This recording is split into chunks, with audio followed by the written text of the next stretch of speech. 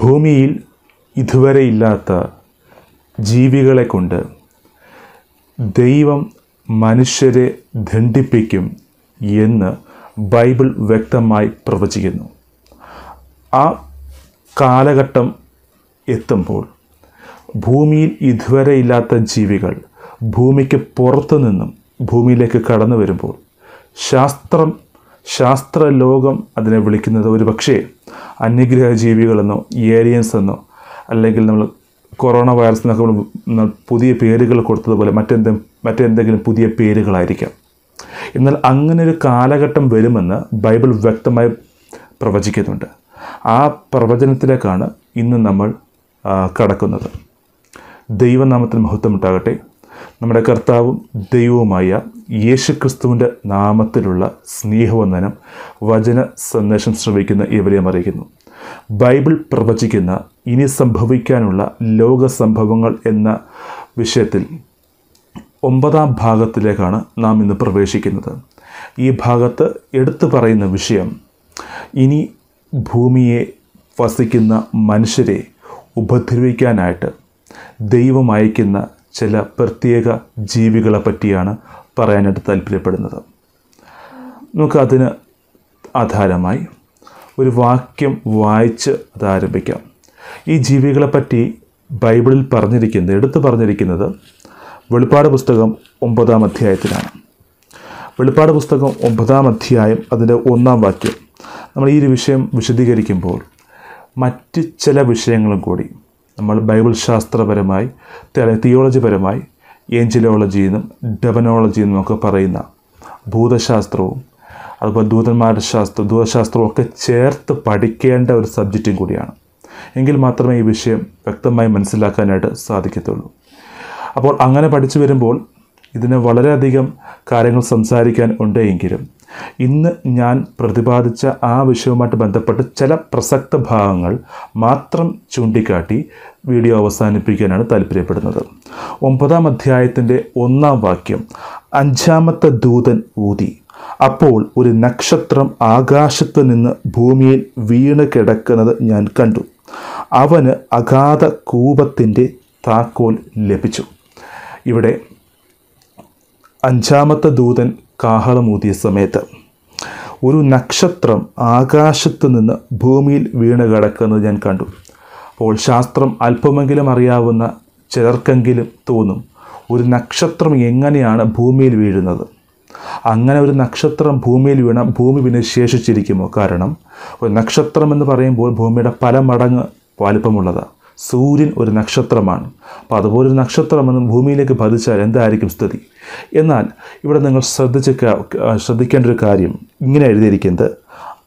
ഈ നക്ഷത്രത്തെ അടുത്ത പറഞ്ഞ പദം ശ്രദ്ധിക്കണം അവന് അഗാധകൂപത്തിൻ്റെ താക്കോൽ ലഭിച്ചു അപ്പോൾ ഈ നക്ഷത്രം എന്ന് പറയുന്നത് ശരിക്കും ഒരു വ്യക്തിയാണ് അവന് അഗാധകൂപത്തിൻ്റെ തക്കു ലഭിച്ചു അവന് എന്ന് സംബോധന ചെയ്തിരിക്കുന്നത് കൊണ്ട് ഈ നക്ഷത്രം എന്ന് പറയുന്നത് ഒരു വ്യക്തിയാണ് എന്ന് മനസ്സിലാക്കാൻ സാധിക്കും അങ്ങനെയാണെങ്കിൽ ആരായിരിക്കും ഈ നക്ഷത്രം നമ്മൾ ബൈബിൾ പഠിക്കുമ്പോൾ ഉദയനക്ഷത്രം എന്ന് ലൂസിഫറിനെയും യേശുക്രിസ്തുവിനെ കാണാൻ സാധിക്കുന്നത് അതായത് യേശുക്രിസ്തുവിനും ലൂസിഫറിനും ഒരേ തരത്തിലൊരു വിശേഷണം ഉദയനക്ഷത്രം നമുക്ക് കാണാൻ സാധിക്കുന്നുണ്ട് മോർണിംഗ് സ്റ്റാർ എന്ന് നമ്മൾ അതിനെ ഇംഗ്ലീഷിൽ പറയുന്നു ഈ മോർണിംഗ് സ്റ്റാർ എന്നൊരു വിഷയത്തിലേക്ക് നമ്മൾ പ്രവേശിക്കുമ്പോൾ അതിന് കുറച്ചും കൂടി ഒരു ആഴമുണ്ട് നിങ്ങൾ മോർണിംഗ് സ്റ്റാർ എന്ന് ഗൂഗിൾ സെർച്ച് ചെയ്ത് നോക്കിയാൽ എന്താണ് മോർണിംഗ് സ്റ്റാറിൻ്റെ സവിശേഷതകൾ എന്ന് മനസ്സിലാക്കാനായിട്ട് സാധിക്കും അതും സൂര്യനും തമ്മിലുള്ള ബന്ധം നിങ്ങൾക്ക് മനസ്സിലാക്കാനായിട്ട് സാധിക്കും ഞാനിപ്പോൾ ശാസ്ത്രീയ വശങ്ങളിലേക്ക് കടക്കുന്നില്ല എങ്കിലും ഞാനവിടെ പറഞ്ഞു വന്ന കാര്യം സാത്താൻ്റെ ദൂതന്മാരെ നക്ഷത്രം എന്ന രീതിയിൽ സംബോധന ചെയ്തിട്ടുണ്ട് ദൈവദൂതന്മാരെ നക്ഷത്രം എന്ന രീതിയിൽ സംബോധന ചെയ്തിട്ടുണ്ട്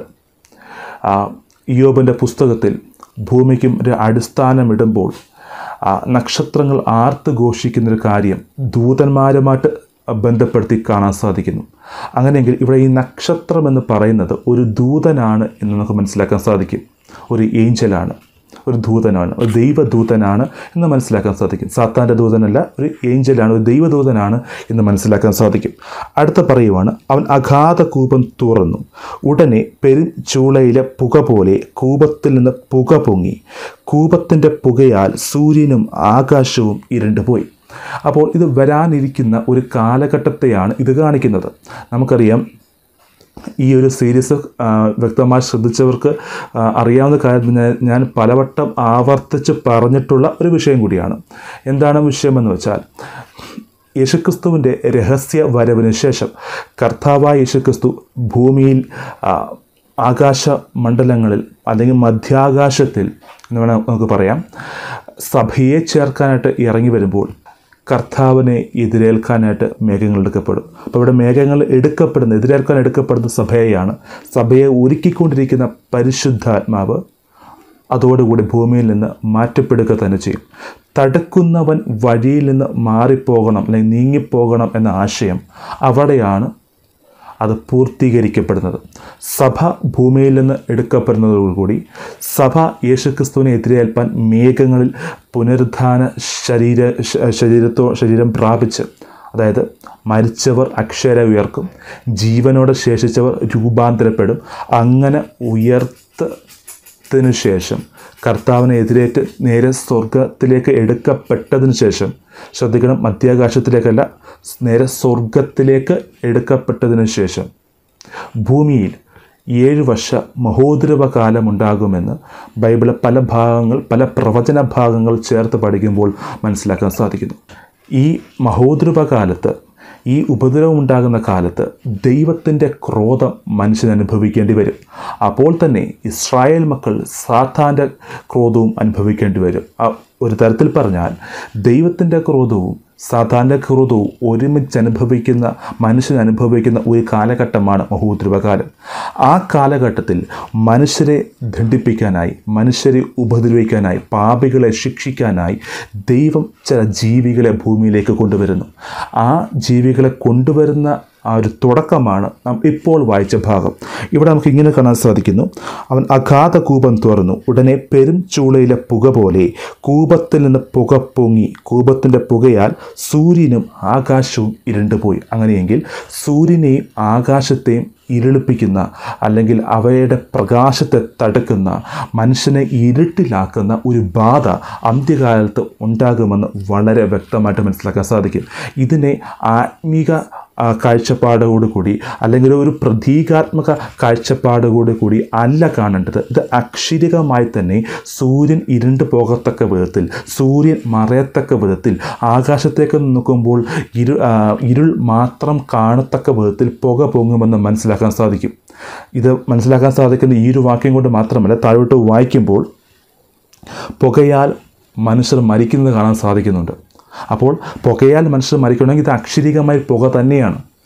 അടുത്ത ഇങ്ങനെ എഴുതിയിരിക്കുന്നു പുകയിൽ നിന്ന് വെട്ടുക്കിളി ഭൂമിയിൽ പുറപ്പെട്ടു ശ്രദ്ധിക്കണം പുകയിൽ നിന്ന് വെട്ടുക്കിളി ഭൂമിയിൽ പുറപ്പെട്ടു ഇത് ഭൂമിയിലുള്ളതല്ല നമ്മളിതിൻ്റെ മറ്റു പല വേർഷൻസ് ഇംഗ്ലീഷ് ഒക്കെ എടുത്ത് വായിക്കുമ്പോൾ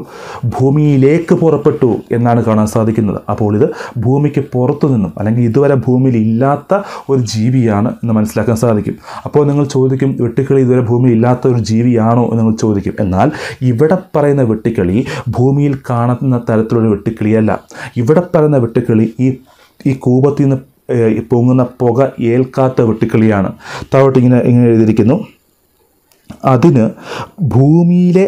തേളിനുള്ള ശക്തി ലഭിച്ചു ആ പദപ്രയോഗം ശ്രദ്ധിക്കണം ഭൂമിയിലെ തേളിനുള്ള അപ്പോൾ ഈ ജീവി ഈ വെട്ടുക്കിളി ഭൂമിയിൽ നിന്നുള്ളതല്ല എന്ന് അതിൽ നിന്ന് വ്യക്തമാണ് മാത്രമല്ല ഇതിന് തേളിനുള്ള ശക്തി ലഭിക്കുന്നു അടുത്ത പറയുക നെറ്റിയിൽ ദൈവത്തിൻ്റെ മുദ്രയില്ലാത്ത മനുഷ്യർക്കല്ലാതെ ഭൂമിയിലെ പുല്ലിനും പച്ചയായ ദുന്നിനും യാതൊരു വൃക്ഷത്തിനും കേട് വരുത്തരുത് എന്നതിന് കൽപ്പനയുണ്ടായി ഇതും വളരെയധികം പഠിക്കേണ്ട ഒരു കാര്യമാണ് കാരണം ഇവിടെ ഒരു പദപ്രയോഗമുണ്ട് നെറ്റിയിൽ ദൈവത്തിൻ്റെ മുദ്രയായുള്ള മനുഷ്യരെ ഉപദ്രവിക്കരുത് എന്നൊരു കാര്യം നമുക്ക് അവിടെ കാണാൻ സാധിക്കുന്നു ആരാണ് ഈ മനുഷ്യർ സഭ ഭൂമിയിൽ നിന്ന് എടുക്കപ്പെട്ടു എങ്കിൽ പിന്നെ ഏതാണ് ഈ മനുഷ്യർ മഹോപദ്രവകാലത്ത് ദൈവം ഉപദ്രവിക്കാത്ത ദൈവം സംരക്ഷണ കൊടുക്കുന്ന ഈ മനുഷ്യർ ഏതാണ് അത് മറ്റൊരു വലിയ വിഷയമാകിയാൽ മറ്റൊരു വീഡിയോയിൽ അത് അവസരം കിട്ടുന്നത് പോലെ സംസാരിക്കുന്നതായിരിക്കും കാരണം ഈ ഒരു വിഷയം വെളുപ്പാട് പുസ്തകം പന്ത്രണ്ടാം അധ്യായവുമായിട്ട് ചേർത്ത് പഠിക്കേണ്ട ഒരു കാര്യമാകിയാൽ അത് മറ്റൊരു വലിയൊരു സബ്ജക്റ്റാണ് ഞാൻ ഈ വീഡിയോയുടെ തുടക്കത്തിൽ പറഞ്ഞിരുന്നു ഞാൻ ഇന്ന് സംസാരിക്കുന്നത് ഭൂമിയിലേക്ക് വരുന്ന ഇന്ന് വരെ ഭൂമിയിലില്ലാത്ത ജീവികളെ പറ്റിയായിരിക്കും അതുകൊണ്ട് അതുമായിട്ട് മാത്രം ബന്ധപ്പെട്ട് നിൽക്കുന്ന പ്രസക്ത ഭാഗങ്ങൾ പറഞ്ഞ് അവസാനിപ്പിക്കാനാണ് താല്പര്യപ്പെടുന്നത്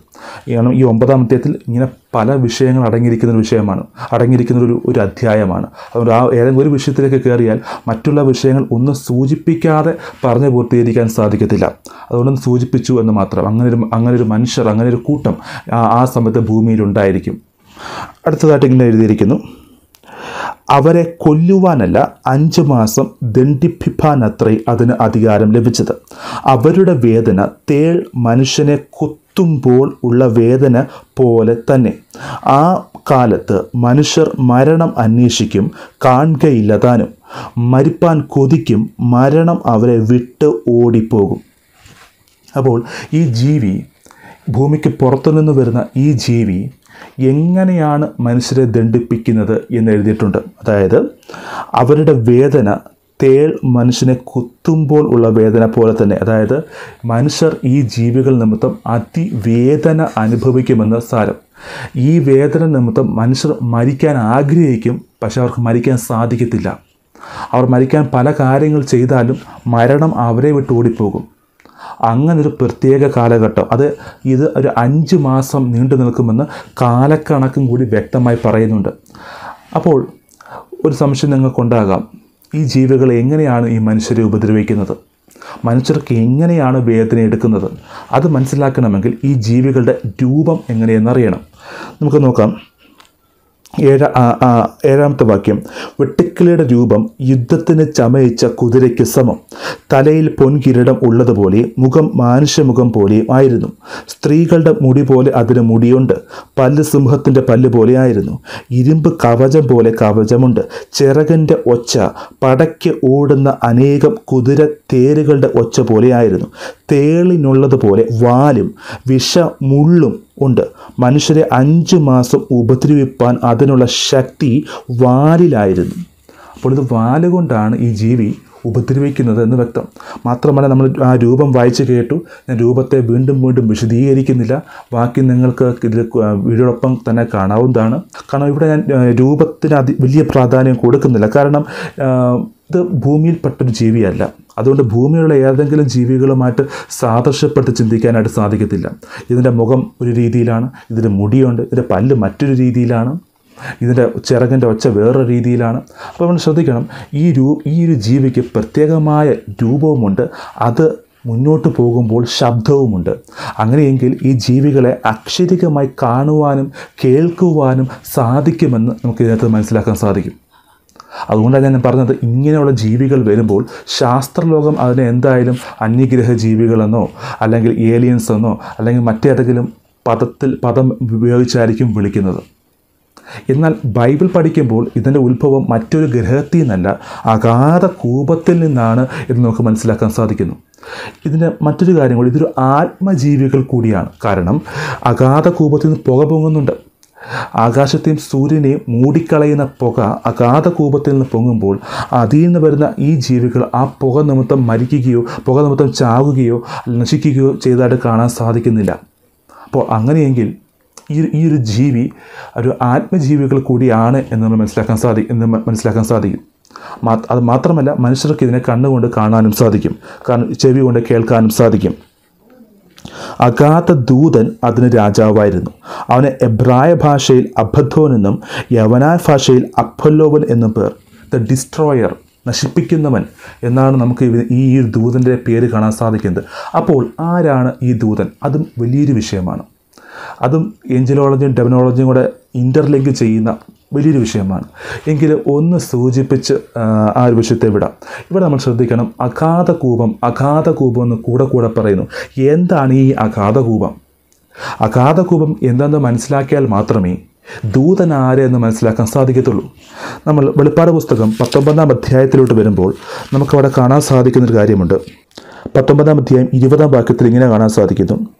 മൃഗത്തെയും അതിൻ്റെ മുമ്പാകെ താൻ ചെയ്ത അടയാളങ്ങളാൽ മനുഷ്യരെ ചതിച്ച് മൃഗത്തിൻ്റെ മുദ്ര ഏൽപ്പിക്കുകയും അതിൻ്റെ പ്രതിമയെ നമസ്കരിപ്പിക്കുകയും ചെയ്ത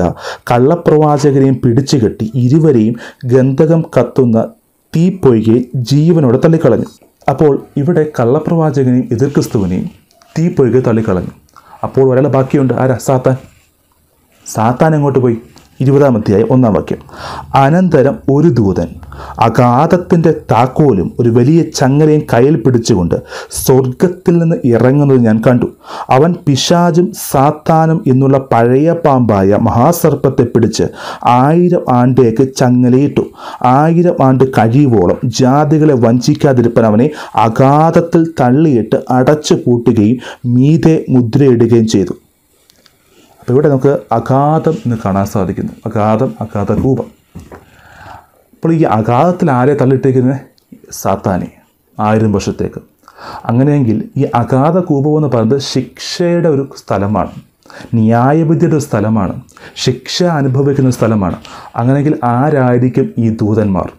ശിക്ഷ അനുഭവിച്ച് കിടക്കുന്ന ഒരു ദൂതനെയാണ് നമുക്ക് അബദ്ധോൻ എന്ന പേര് അല്ലെങ്കിൽ ദ ഡിസ്ട്രോയർ നശിപ്പിക്കുന്നവൻ എന്ന രീതിയിൽ നമുക്ക് കാണാൻ സാധിക്കുന്നത് ഏത് ദൂതനാണ് ശിക്ഷ അനുഭവിച്ച് കിടക്കുന്നത് നമ്മൾ ബൈബിൾ പഠി രണ്ട് വിധ കൂട്ടരെ നമുക്ക് കാണാൻ സാധിക്കുന്നു ഒന്ന് ലൂസിഫറിൻ്റെ കാലത്ത് ലൂസിഫർ എന്ന് പറയുമ്പോൾ അവൻ ചിറക് വിറ വിരിച്ച് മറയ്ക്കുന്ന ഒരു കിരൂപായിരുന്നു അതായത് സ്വർഗാതി സ്വർഗത്തിൽ ത്രിയേക ദൈവം പിതാവും പുത്രനും പരിശുദ്ധാത്മാവുമായിരിക്കുമ്പോൾ ദൈവത്തെ ആരാധിക്കുന്നതിന് മധ്യേ ചിറക് വിടർ വിടർത്തി മറച്ചു നിൽക്കുന്ന രീതിയിൽ ദൈവത്തിൻ്റെ മഹത്വം മറച്ചു നിൽക്കുന്ന രീതി അത് കേൾവിക്കാർക്ക് വ്യക്തമായി മനസ്സിലാകണമെങ്കിൽ സമാഗമന കൂടാരത്തിലിട്ട് വരണം സമാഗമന കൂടാരത്തിൽ മൂന്ന് ഭാഗങ്ങളുണ്ട് അതിൽ പ്രാകാരം വിശുദ്ധ സ്ഥലം സ്ഥലം അതിവിശുദ്ധ സ്ഥലം അതിവിശുദ്ധ സ്ഥലത്തിലേക്ക് വരുമ്പോൾ അവിടെ നിയമ നിയമപ്പെട്ടകമുണ്ട് നിയമപ്പെട്ടകത്തിൻ്റെ മുകളിൽ രണ്ട് കെരൂബുകൾ ചിറക് വിടർത്തി മറച്ചു നിൽക്കുന്നുണ്ട് ആ ചിറക് വിടർത്തി മറച്ചു നിൽക്കുന്ന ആ കെരൂബുകളുടെ ചിറകുകളുടെ മധ്യത്തിലേക്കാണ് ദൈവത്തിൻ്റെ തേജസ് കണ്ണുകൊണ്ട് കാണത്തക്ക വിധത്തിൽ ഷെക്കൈന ദൈവത്തിൻ്റെ തേജസ് ഇറങ്ങി വരുന്നത് അപ്പോൾ ദൈവത്തിൻ്റെ തേജസ് മറച്ചു നിൽക്കുന്ന ഒരു രൂപമാണ് സമാഗമന കൂടാരത്തിൽ വിശുദ്ധ അതിവിശുദ്ധ സ്ഥലത്ത് നോക്കുമ്പോൾ നമുക്ക് കാണാൻ സാധിക്കുന്നതെങ്കിൽ സ്വർഗത്തിലായിരിക്കുന്നതിൻ്റെ ഒരു നിഴലായിട്ട് ആണ് ദൈവം സമാപന കൂടാരത്തെ ദൈവം ഇവിടെ തയ്യാറാക്കിയത് അങ്ങനെയെങ്കിൽ സ്വർഗത്തിലും അതേപോലെ ആലയമുണ്ട് എന്ന് വെളിപ്പാട് പുസ്തകം വായിക്കുമ്പോൾ വ്യക്തമാക്കാൻ സാധിക്കുന്നു സ്വർഗത്തിലും നിയമപ്പെട്ടകമുണ്ട് എന്ന് വെളിപ്പാട് പുസ്തകം വായിക്കുമ്പോൾ വ്യക്തമായി നമുക്ക് മനസ്സിലാക്കാൻ സാധിക്കുന്നു അപ്പോൾ സ്വർഗത്തിൽ ഉണ്ടായിരുന്നതിൻ്റെ ഒരു മോഡൽ ഭൂമിയിൽ നാം കണ്ടുവെങ്കിൽ ഭൂമിയിൽ കണ്ടപ്പോൾ രണ്ട് കെരൂപുകൾ ദൈവത്തിൻ്റെ തേജസ് ചിറക് വിളർത്തി മറച്ചു നിൽക്കുന്നതായിട്ട് നമുക്ക് കാണാൻ സാധിക്കുന്നു അതേ പദം ലൂസിഫറിനെ പറ്റി നമുക്ക് കാണാൻ സാധിക്കുന്നു നീ ചിറക്ക് വിടർത്തി മറയ്ക്കുന്ന കെരൂപായിരുന്നു എന്ന് നമുക്ക് കാണാൻ സാധിക്കുന്നു അപ്പോൾ നമ്മൾ നിന്ന് മനസ്സിലാക്കേണ്ട കാര്യം ഇങ്ങനെ ദൈവത്തിൻ്റെ മഹത്വം മറച്ചു നിന്നിരുന്ന ആരാധനയ്ക്ക് നേതൃത്വം കൊടുത്തിരുന്ന ലൂസിഫർ ദൈവത്തിൻ്റെ സ്ഥാനം ആഗ്രഹിച്ചപ്പോൾ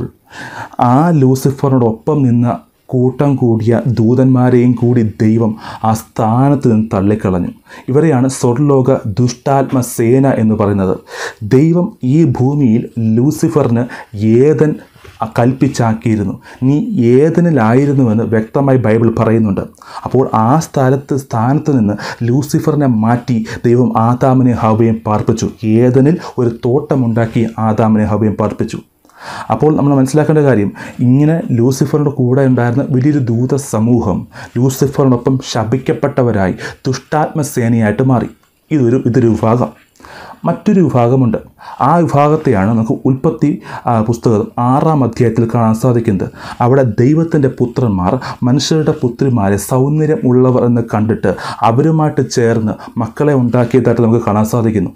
ഈ ഒരു ഭാഗം ചിലർ ജ്ഞാനത്തിൻ്റെ പേരിൽ അത് ഷേത്തിൻ്റെ വംശമായിരുന്നുവെന്നും കൈയിൻ്റെ വംശപാരമ്പര്യമാണ്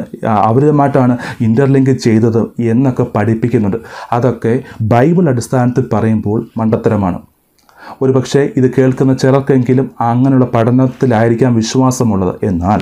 ബൈബിളിലെ മറ്റ് അനേക ഭാഗങ്ങൾ ഇങ്ങനൊരു ശപിക്കപ്പെട്ട ദൂത സമൂഹത്തെപ്പറ്റി പറയുമ്പോൾ അതിന് കാരണമായിട്ട് നമുക്ക് ചൂണ്ടിക്കാണിക്കാൻ പറ്റുന്നത് ഉൽപ്പത്തി ആറാം അധ്യായത്തിലെ സംഭവം മാത്രമാണ് അത് ഷേത്തിൻ്റെ മക്കളായിരുന്നു എന്നൊക്കെയുള്ള ന്യായീകരണം ബൈബിളിലെ മറ്റ് യാതൊരു കൂട്ടുവാക്യത്തെ ഒത്തുവാക്യത്തിൻ്റെ സപ്പോർട്ടോടുകൂടി കൂടി ഇല്ലാത്ത ന്യായീകരണമാണ് അപ്പോൾ ഞാൻ ആ ഒരു വിഷയത്തിലോട്ട് ഇപ്പോൾ കടക്കുന്നില്ല കാരണം ഞാൻ നേരത്തെ പറഞ്ഞല്ലോ പല വിഷയങ്ങൾ ഈ വിഷയമായിട്ട് സംസാരിക്കേണ്ടതുണ്ട് അതൊക്കെ ഒന്ന് തൊട്ട് മാത്രം പോകുന്നു പ്രധാനപ്പെട്ട വിഷയം ഞാൻ ഇന്ന് സംസാരിക്കാൻ ആഗ്രഹിച്ച വിഷയത്തിൽ മാത്രം നിൽക്കാൻ താല്പര്യപ്പെടുന്നു അതുകൊണ്ട് തന്നെ ദിവസത്തിൻ്റെ രണ്ടാം ലേഖനത്തിലോട്ട് വരുമ്പോൾ അവിടെ നമുക്ക് ഇങ്ങനൊരു കാര്യം കാണാനായിട്ട് സാധിക്കുന്നുണ്ട് അതിൻ്റെ നാലാമത്തെ വാക്യം പാപം ചെയ്ത ദൂതന്മാരെ ദൈവം ആദരിക്കാതെ അന്ധത മസ്സിൻ്റെ ചങ്ങലയിട്ട് നരകത്തിലാക്കി ന്യായവിധിക്കായി കാപ്പാൻ ഏൽപ്പിക്കുകയും പുരാതന ലോകത്തെയും ആദരിക്കാതെ ഭക്തികെട്ടവരുടെ ലോകത്ത് ജലപ്രളയം വരുത്തിയപ്പോൾ ഇപ്പോൾ ശ്രദ്ധിക്കണം ഇവിടെ ദൂതന്മാരെ ന്യായം വിധിച്ച കാര്യവും നോഹയുടെ കാലത്തെ ജലപ്രളവും ചേർത്താണ് പത്രോസ് പറയുന്നത് അങ്ങനെയാണെങ്കിൽ ഏതായിരിക്കും ഈ ദൂതന്മാർ ഉൽപ്പത്തി പുസ്തകം ആറാം അധ്യായത്തിൽ കണ്ട ദൈവത്തിൻ്റെ പുത്രന്മാർ തന്നെ അപ്പോൾ ഒരു വിഭാഗം ദൂതന്മാർ ലൂസിഫറിനൊപ്പം ദുഷ്ടാത്മസേനയായിട്ട് മാറിയപ്പോൾ മറ്റൊരു വിഭാഗം ദൂതന്മാർ ഈ അഗാധകൂപത്തിൽ അടയ്ക്കപ്പെട്ടു അല്ലെങ്കിൽ നരകത്തിലാക്കി എന്ന് നമുക്ക് ഇവിടെ എഴുതിയിരിക്കുന്നു ഇപ്പോൾ നരകം അഗാധകൂപം എന്നൊക്കെ പറയുമ്പോൾ ആ പദങ്ങളുടെ അർത്ഥങ്ങളിലേക്ക് ഇറങ്ങുമ്പോൾ ചെറ ചെറിയ ചില വ്യത്യാസങ്ങളുണ്ട് ഇപ്പോൾ അതിലേക്ക് കിടക്കുന്നില്ല അപ്പോൾ ഞാൻ പറഞ്ഞു വന്ന കാര്യം ഈ അബദ്ധൂൻ അല്ലെങ്കിൽ അപ്പല്ലൂൻ എന്നൊക്കെ പറയുന്ന ഒരാൾ ശരിക്കും ദൈവത്തിൻ്റെ ശിക്ഷ അനുഭവിച്ച് കിടക്കുന്ന ദൂതനാണ് ഈ ദൂതനാണ് ഈ വെട്ടിക്കിളികൾക്ക് നേതാവ് അല്ലെങ്കിൽ ഈ അഞ്ച് മാസം മനുഷ്യരെ ഉപദ്രവിക്കാൻ നേതൃത്വം കൊടുക്കുന്നത് ദൈവം ഒരു കാലത്ത് ശിക്ഷിച്ച് ബന്ധനത്തിലാക്കിയിരുന്ന ദൂതന് തന്നെയാണ് എന്നാണ് പറഞ്ഞു വരാൻ താല്പര്യപ്പെടുന്നത് കഷ്ടമൊന്നു കഴിഞ്ഞു ഇനി രണ്ട് കഷ്ടം പിന്നാലെ വരുന്നു ആറാമത്തെ ദൂതനൂതി അപ്പോൾ ദൈവസന്നിധിയിൽ സ്വർണ്ണ പീഠത്തിൻ്റെ കൊമ്പുകളിൽ നിന്ന് ഒരു ശബ്ദം കാഹളമുള്ള ആറാം ദൂതനോട് യുഫ്ര ഇഫ്രത്തേസ് എന്ന മഹാനദി തീരത്ത് ബന്ധിച്ചിരിക്കുന്ന നാല് ദൂതന്മാരെയും അഴിച്ചുവിടുക എന്ന് പറയുന്നത് ഞാൻ കേട്ടു നമുക്കിവിടെ നാല് ദൂതന്മാരെ ബന്ധിച്ചിരിക്കുന്നത് കാണാൻ സാധിക്കുന്നു ഈ ബന്ധ ബന്ധനത്തിലായിരിക്കുന്ന ദൂതന്മാരും ശിക്ഷ നിമിത്ത ബന്ധനത്തിലായിരിക്കുന്ന ദൂതന്മാരാണ് ആറാമത്തെ ഉൽപ്പത്തി ആറാമത്തേത്തിൽ പറയുന്ന ദൈവത്തിൻ്റെ പുത്രന്മാർ തന്നെ അവരെ വിടുന്ന ഒരു കാലഘട്ടം ഇവിടെ ഇങ്ങനെ പറയുന്നു ഉടനെ മനുഷ്യരിൽ മൂന്നിലൊന്നിനെ കൊല്ലുവാൻ ഇന്ന ആണ്ട് മാസം ദിവസം നാഴികയ്ക്ക് ഒരുങ്ങിയിരുന്ന നാല് ദൂതന്മാരെയും അഴിച്ചുവിട്ടു അപ്പോൾ ഒരു സംശയം തോന്നുമായിരിക്കും ഈ ദൂതന്മാരെന്ന് പറയുമ്പോൾ അവർക്ക് ആത്മശരീരമാണ് മനുഷ്യരെ പോലെ മണ്ണ് കൊണ്ടുള്ള ശരീരമല്ല മനുഷ്യ മണ്ണ് കൊണ്ടുള്ള ശരീരമുള്ള മനുഷ്യനെ സ്പർശിക്കുവാൻ മനുഷ്യനെ തൊടുവാൻ ഈ ദൂതന്മാർക്ക് കഴിയുമോ എന്ന് ചിലപ്പോൾ ചോദ്യം വന്നു എന്ന് വരാം നമ്മൾ ബൈബിളിലെ പല സംഭവങ്ങൾ പഠിക്കുമ്പോൾ